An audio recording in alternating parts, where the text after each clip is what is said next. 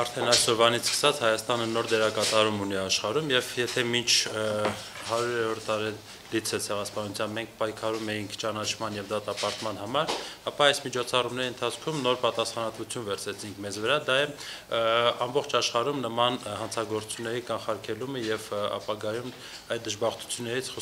խուսափելը։ Այսինքն Հայաստանը 100-րդ տարելիցի միջոցառումների ցեղասպանության վերածեց քաղաքական գործընթացի, որի նպատակը միջազգային նոր շարժում ստեղծելն է հակացեղասպանությունների դեմ նոր շարժում ստեղծելն է եւ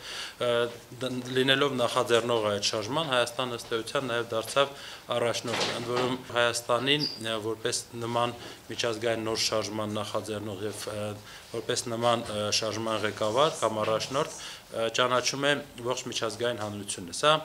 բավական կարևոր եւ լուրջ պատասխանատվություն է, որ այսուհետեւ իր ուսերին կրելու է Հայաստանը եւ սրանով իսկ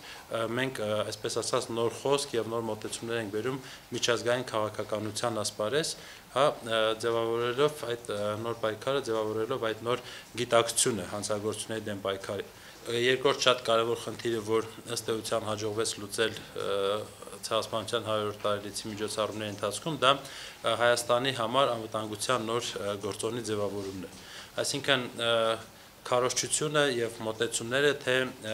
Հայաստանի բարձր պաշտոնյաների եւ թե լրատվական դաշտում միջազգային հնչող մոտեցումները ցույց տվեցին քաղաքակրթական այն տարբերությունները, որոնք այսօր արկա են Թուրքիայի եւ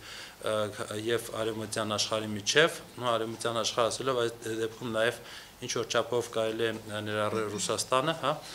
քրիստոնեական աշխարհի միջև նկատի ունեմ եւ այդ քաղաքակրթական տարբերությունները դարձան քաղաքական գործոն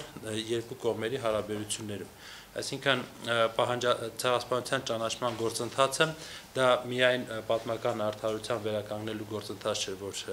իրականացվում է միջազգային ասպարեզում, այլ այլև արժեհամակարգերի մոտեցման եւ ընդհանուր ընդհանրապես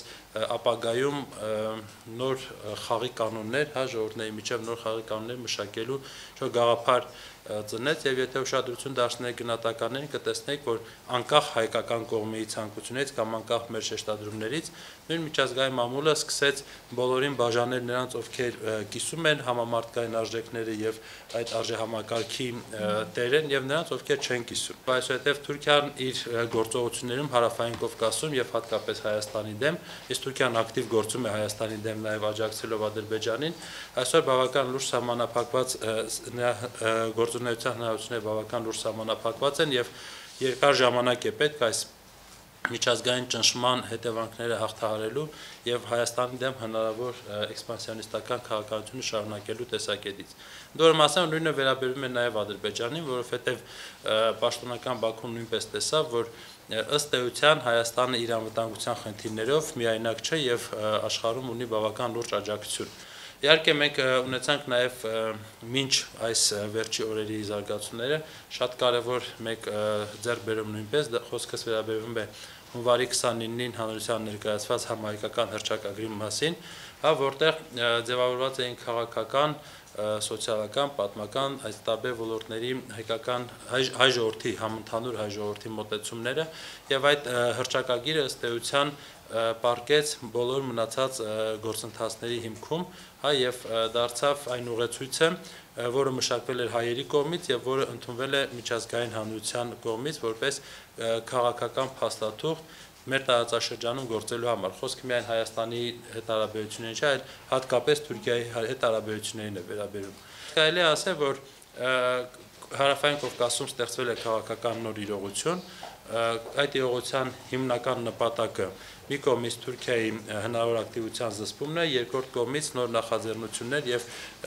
տեղի ավելի փոքր պետություններին հա քաղաքական նոր ծրագրեր կամ քաղաքական նոր նախաձեռնություններում ներառելներ եւ այս տեսակետից պետք է ասել, որ Հայաստանի թե միջազգային հեղինակությունը եւ թե քաղաքական ազդեցությունը զուտ մեր